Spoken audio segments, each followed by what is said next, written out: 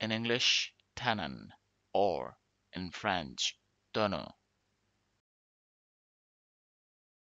Tenon, or tonneau. In English, tenon, or, in French, tonneau. Tenon, or tonneau.